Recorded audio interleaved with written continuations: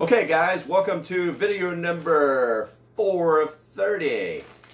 You remember the last video we did on Walmart first aid stuff? Well, oddly enough it all fit into this little Ziploc bag. And most of it was junk. A few things in there we're going to keep for later. But now I think it's time to make a low cost, cheap ass, level 1 bleed kit. So, here we go!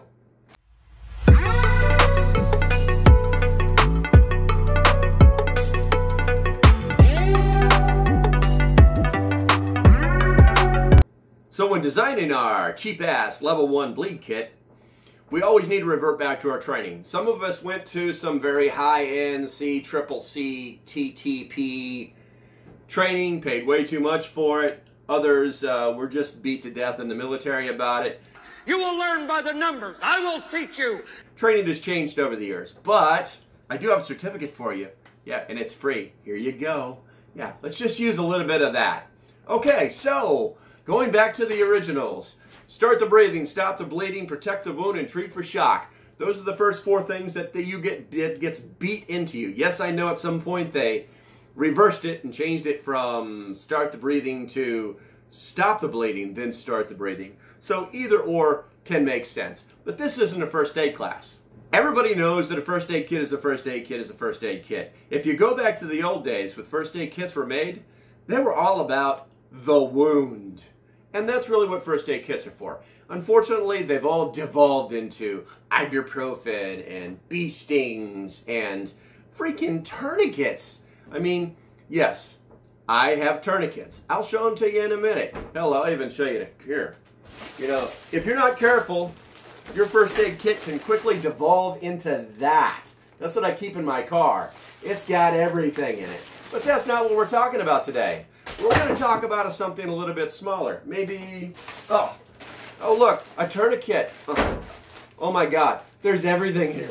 Someone got shot. I need to stick that in their chest.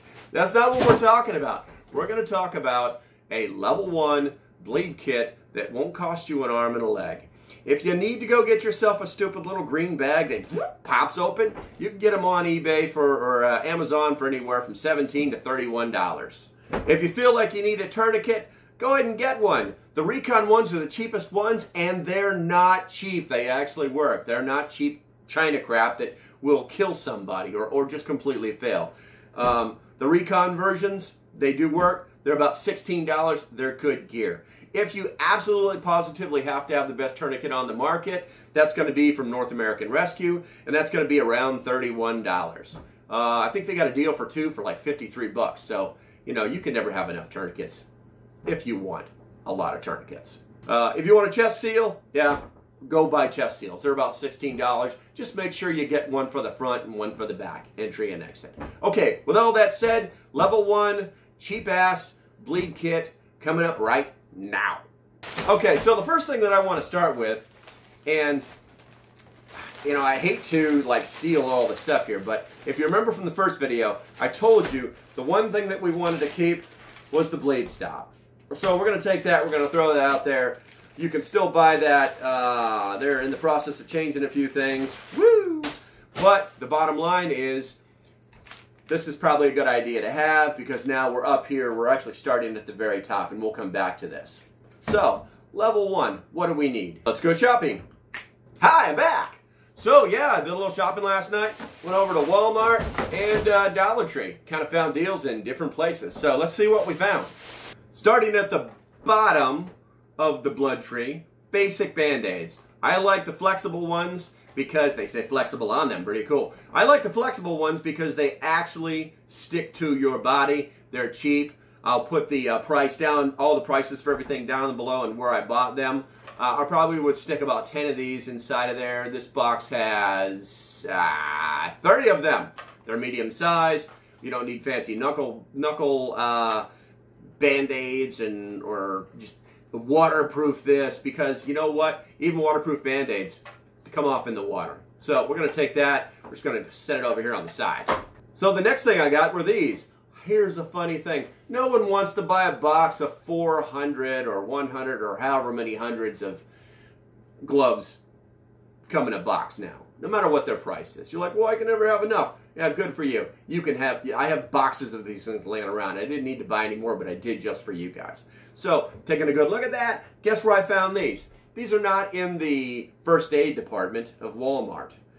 These guys, 50 in a box, yeah, a small amount. They're medium gloves, they're nitrile, and you buy them in the painting section. Yeah, there's your little hint. So, you're going to need at least two, two sets of these bad boys. Make sure that they're nitrile, not vinyl, because if you don't know anything about blood and vinyl, when you get blood on vinyl, it becomes, whoa, super slippery. And that's not what you want to do when you're trying to help somebody with their wound. Setting that over here now. Next, I picked up these non-stick pads with adhesive tabs. So they're going to kind of stick to you a little bit. Uh, they're more for like covering abrasions, things like that. But uh, it looks like there are 10 of them in here, and I'll take a couple of these and stick them inside my kit. Uh, once again, price is down below.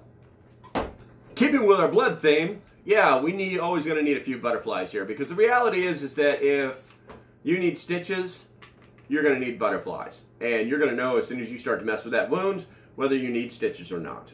So always have a few of these. They come 12 to a box, and we're probably going to throw about six of these bad boys in here, depending on how they're packaged. Okay, so the next thing, rolled gauze. Now, when you buy rolled gauze, you need to have at least two rolls, okay? And the reasoning is, is that one is none and two is one. Something might happen to this. But this is where we're starting to move into, oh my God, this is a serious wound and we actually need to pack the wound. And that's what you actually use rolled gauze for. I picked these up for a dollar a piece at the old Dollar Tree. And uh, now we're moving into the heavier blood zone. Okay, so now we're starting to talk about more blood where we need to start packing gauze into stuff. And it's not a boo-boo anymore. This is serious. We need to stop the bleeding. Uh, and if we don't have our bleed stop, which we'll talk about in the kit, um, then we need to be able to pack that wound and we need to be able to get that guy out of there. But we need to hold the wound in place. Now, sometimes it's just a patch. And you can pick this up at the Dollar Tree for $1. Yeah, that's right. This is paper tape. That way you won't have any, you won't have any uh, allergies to it. And then this is a self-adhering wrap, similar to an ACE wrap.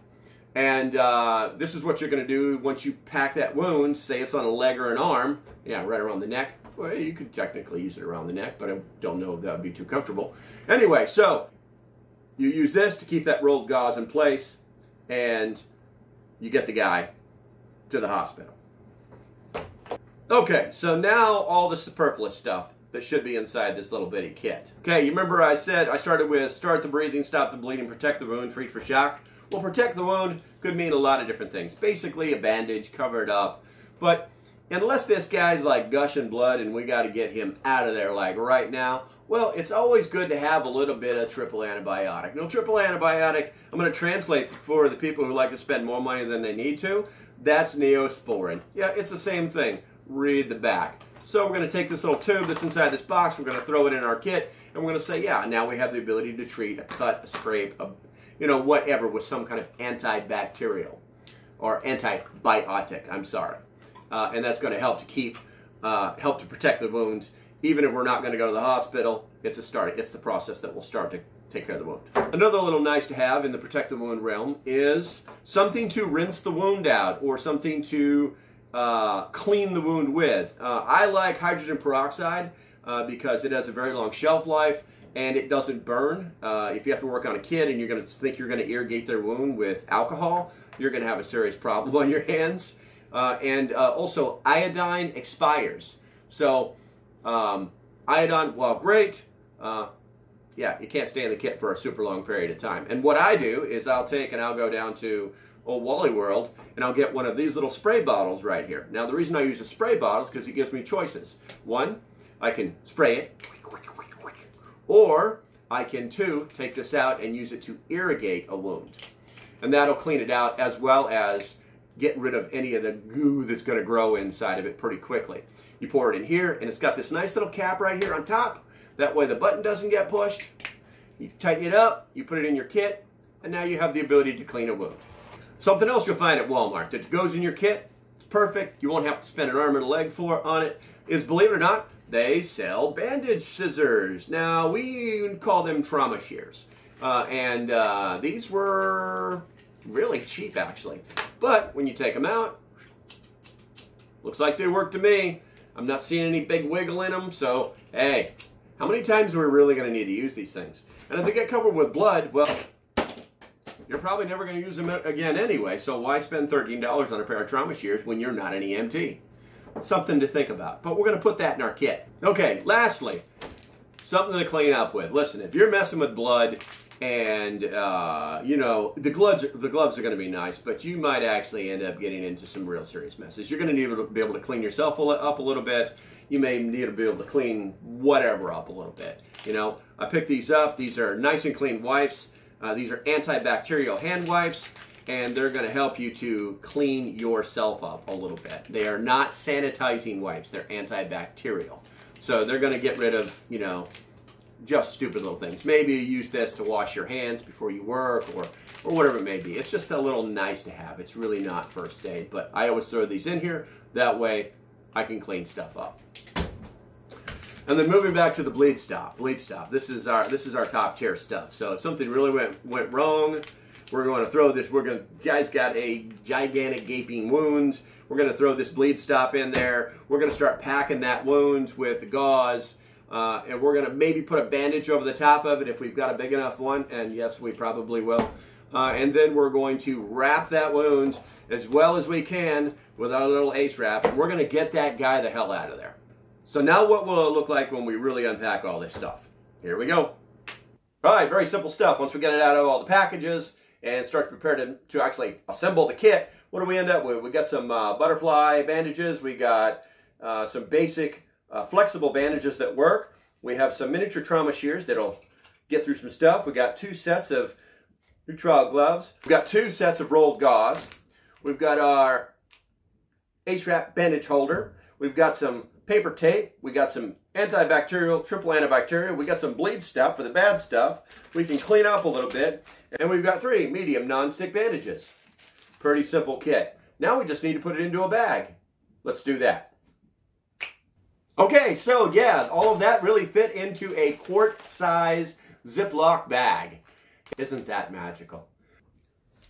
So for all you guys that are spending 30, 50, 120 dollars for some of these little green bags, you might want to rethink it. Yes, once again, if you want to add a tourniquet, add a tourniquet. Just get a bigger Ziploc bag. If you want to add uh, bullet gunshot wound stuff, just make your bag a little bit bigger. You know, they come in gallon size bags too. But you know what? This will take care of 99% of all of my trauma needs. Okay, so until the next video, remember to stay safe and have a great day.